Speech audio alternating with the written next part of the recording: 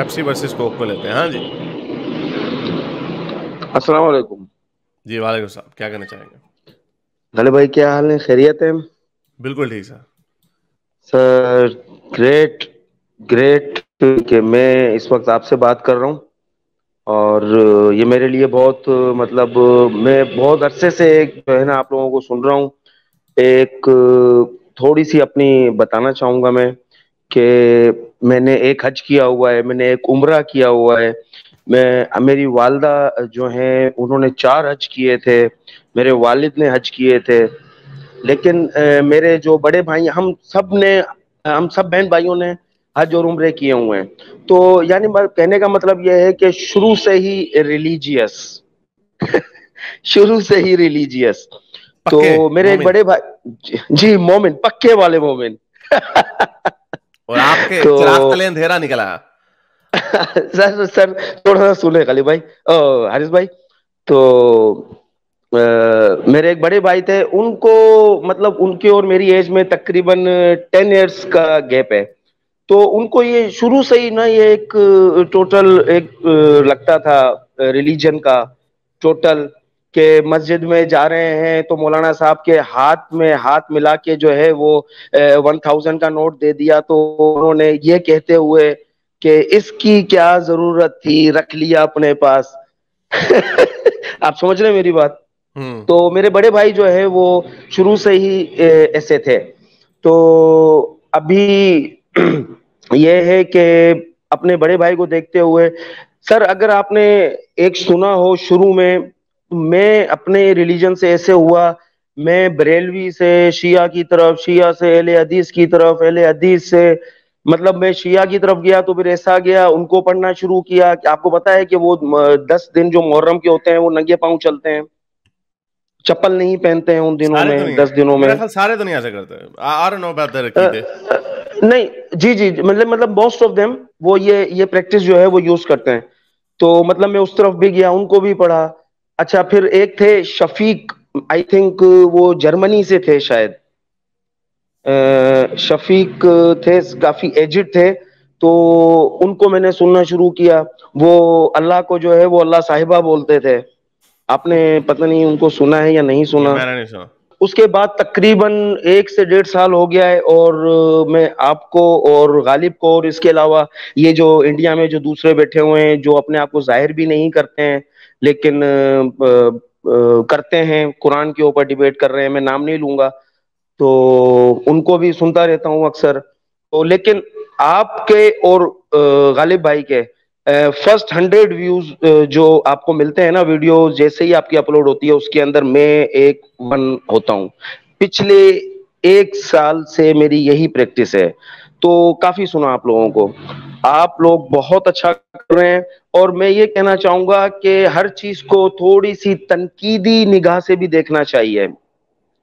जब आप अकीदत की पट्टी अपने आँखों पे बाँध लेते हैं ना तो फिर यही होता है जो कि आजकल आई एम फ्रॉम पाकिस्तान तो यही होता है जो कि पाकिस्तान में हो रहा है। इन लोगों को रोड पे चलने की तो तमीज नहीं है। किसी चीज़ की इन लोगों को जाहिल है, बिल्कुल। ये क्या मज़हब को जो है, वो एक तनकीदी निगाह से देखेंगे, क्या पढ़ेंगे? लेकिन आप लोगों ने, आप लोगों की कोशिश है, आप दोनों मिलके बहुत काम कर रहे हैं। तो जो है, वो उम्मीद है कि आने वाले सालों में बहुत चेंजेस नज़र आएँगी। जिस तरह मेरा माइंड टोटली चेंज हो चुका है टोटली मतलब वन परसेंट भी अगर कई कई दफ़ा मैं आपको सुन रहा होता हूँ आपके कॉलर्स को वो कहते हैं fifty percent fifty percent thirty percent forty percent लेकिन ऐसा नहीं है।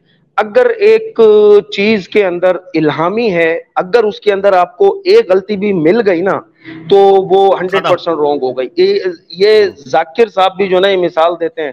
कि कुरान के अंदर जो बातें लिखी है हाँ वो अगर ये लिखी है ये लिखी है अगर इसमें से एक सही है तो जो बाकी बातें लिखी हैं जिस तक अभी तक साइंस नहीं पहुँच चुकी है तो वो भी सही होंगी। तो मैं बोलता हूँ कि कुरान में एक बात भी गलत मिलती है तो कुरान में जो बात बाकी बातें लिखी हैं वो भी गलत होंगी। उन्हीं की लॉजिक उन्हीं के ऊपर डालते हैं। मीठा पानी कड़वे पानी के साथ मिक्सिंग तो, होता है इसके अंदर इनविजिबल बैरियर है गलत है ये। बिल्कुल बिल्कुल, सर, बिल्कुल रॉन्ग है। मैं तो आपकी, आप मुझे जिस वीडियो के रेफरेंस देंगे, मुझे आपकी वीडियोस इतनी और गालिब की भी, मुझे सारी की सारी वीडियोस जो है वो जबानी याद है और मैंने आप लोगों से बहुत सीखा है। मैंने आप लोगों से बहुत सीखा है। इवन के मेरे पास कई दफ़ा तो आप जिस तरह याद करवाते हैं ना कि याद कर लो, ये शेख शेख की हदीस और ये नंबर और ये नंबर वो भी याद हो जाते हैं कई दफ़ा। सही मुस्लिम की तबीसाक उनके वो कब आए कब कैसे टोटल हिस्ट्री जो है वो मेरे पास कोई बुक नहीं है इस वक्त। मेरे पास कोई, कोई बुक नहीं है। हाँ मैंने पहले भी कहा था कि जो मेरा ये फोल्डर मैं बना रहा हूँ इसको मैंने अपनी वेबसाइट पे चढ़ा देना हारिस्तान डॉट कॉम पे जिप फ़ाइल में। तो उसमें ऐड करता रहूँगा लेकिन शुक्रिया आपका आने का और इसमें आप अगर पाकिस्तान में हैं तो आपको बीच में अपने कोई करने की ज़रूरत नहीं है किसी को तो ये इलाहाद की तबलीग करने की ज़रूरत नहीं है जब तक आप जैसा मैं पहले और लोगों को भी कहता हूँ कि इसमें आपको कोई अवार्ड नहीं मिल जाना ये काम जो एक्टिविस्ट हैं उन वो कर रहे हैं वो करते रहेंगे फिर आपको एक दिन एहसास होगा कि आपके इर्द गिर्द सारे लोग काफ़ी लोग एथियस निकल आए हैं। तो हम उस सर गुस्सा सर गुस्सा आता है। गुस्सा आता है। गुस्सा आएगा वो मुझे मुझे पता है इस बात का। गुस्सा आता होगा लेकिन उस गुस्से को ऐसा नहीं ना गुस्सा होना चाहिए जिससे आपकी अपनी जान खतरे में पड़ जाए। उस गुस्से का क्या फ़ायदा? तो इसको बिल्कुल बिल्कुल में रखें और अपनी अपनी आइडेंटिटी को छुपा कर रखें। चले बहुत शुक्रिया बिल्कुल। अच्छा हरीश भाई एक आखिर में एक रिक्वेस्ट है। कि जिस तरह मैंने आपसे तकरीबन मुझे एक साल लग गया आपसे कांटेक्ट में पहले फ़र्स्ट टाइम मैं आपसे बात कर रहा हूँ। तो अपना थोड़ा सा तरीकेकार भी जो है ना वो अपनी वीडियोस के अंदर थोड़ा वाजे कर दिया करें कि मतलब किस तरह वो वीपीएन वीपीएन यू करना है या क्या करना है। मैं इस वक्त भी वीपीएन पे हूँ। वीपीएन की वैसे ज़रूरत नहीं होती। इसको यूट्यूब पे मेरे चैनल का जो कौम से खिताब का लिंक हर हफ़्ते नया आता है वो उसके लिए कुछ नहीं होता। ये फ्राइडे को होता है। हर वीडियो के शुरू में लिखा हुआ आता है कौम से खिताब जुमे को वो टाइमिंग्स लिखी होती हैं इसके अंदर। तो पता नहीं लोग फिर भी मुझे कहते हैं कि भाई किस तरह बात करें? भाई हर वीडियो के शुरू में लिखा होता कि लाइव कब आता है। जब लाइव आता है तो उसके ऊपर आ जाएगा। बहुत शुक्रिया। पाकिस्तानी टाइमिंग्स आपकी? थ्री थ्री पी एम हाँ इतनी होती है। ठीक है।